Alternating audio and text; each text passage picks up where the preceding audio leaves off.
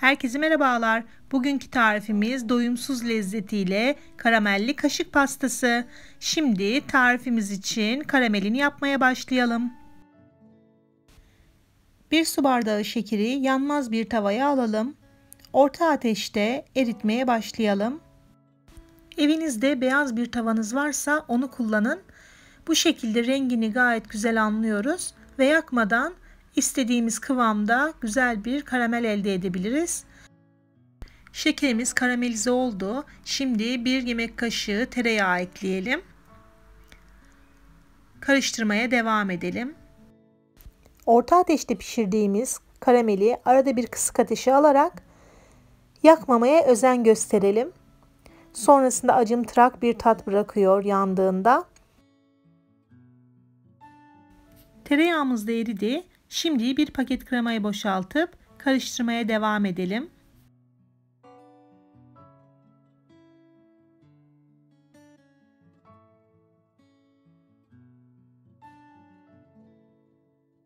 Kremayı ilk boşalttığımızda şekerler donabilir.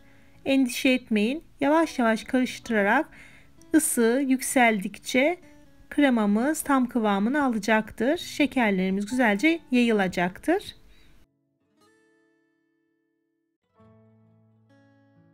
Şekerler kremayla buluştu. Çok güzel bir kıvam aldı. Şimdi kenara alıp soğuması için bir tabağa alalım.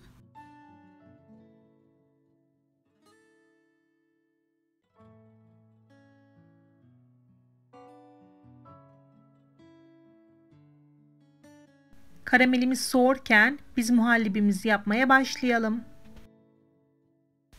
Orta boy tencereye 1 litre sütü alalım.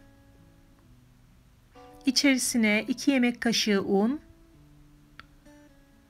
3 yemek kaşığı nişasta, 1 paket vanilya, 1 çay bardağı şeker ilave edip karıştırmaya başlayalım. Bu aşamada şeker eklemeyi unuttum. Pişerken ekledim. O açıda kamera kapalıydı. Bazen böyle aksilikler olabiliyor. Kusura bakmayın. Sizler şekeri söylediğim aşamada eklersiniz. Şimdi muhallebimiz pişti. Tereyağını ekledik ve çırpmaya devam ettik. Pişen muhallebinin yarısını bir kaba alalım. İçerisine 100 gram sütlü çikolata ekleyelim. Çırparak güzelce rengi alana kadar karıştıralım.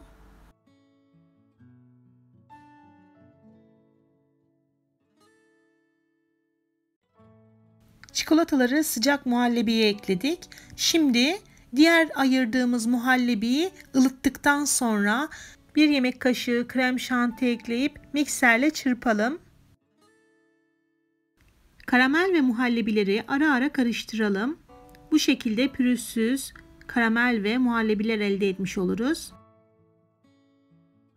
Malzemelerimiz soğuduktan sonra birleştirme aşamasına geçelim. Bu aşamada bize gereken bir paket kedi dili, bir kase süt ve derince bir borcam. Ben oval bir borcam tercih ettim. Kare veya yuvarlak olanı da tercih edebilirsiniz. Şimdi kedi dillerimizi kıralım. Süte batırıp hemen çıkaralım. Borcamımıza dizelim.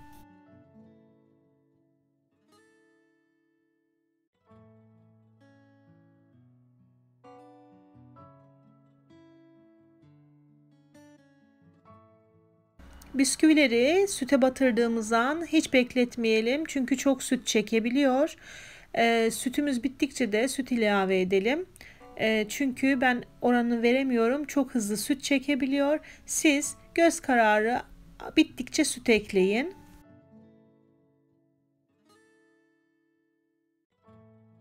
Bisküvileri tek sıra dizdik. Üzerine çikolatalı muhallebimizi boşaltalım ve üzerini yayalım. Kenarlarına bulaştırmamaya dikkat edelim.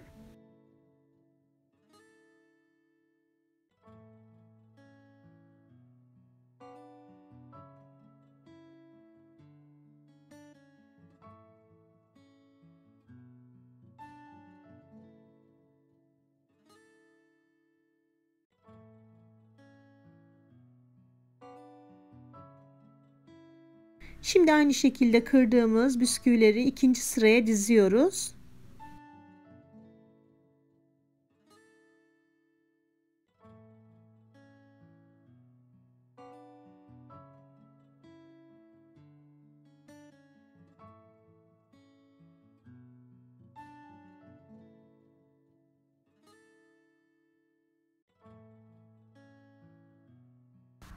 Bir paket kedi dilinden 6 adet kaldı. Saklama poşetiyle güzelce sıkıca bağlayıp bayatlamasını önleyelim. Bir sonraki pastalarımızda veya tatlılarımızda kullanabiliriz.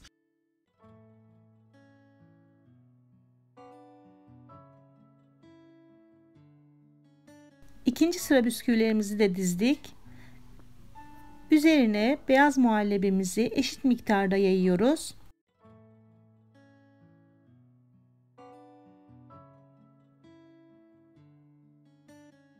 Muhallebimizin tamamını boşalttıktan sonra spatula veya kaşık yardımıyla üzerini güzelce düzleştirelim.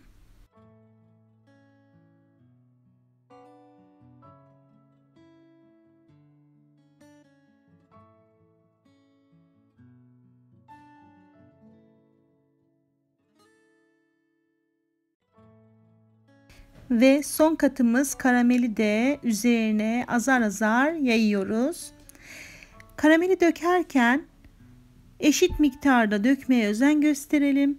Hiç kaşık değdirmeden, yaymaya çalışmadan kendiliğinden yayılacaktır. Biz sadece azar azar her tarafına gelecek şekilde karamelimizi bu şekilde döküyoruz. Karamelin kıvamı yoğun olduğu için ağır ağır akıyor. Biraz bekledikten sonra pastamızın tamamen üzerini kapatacaktır.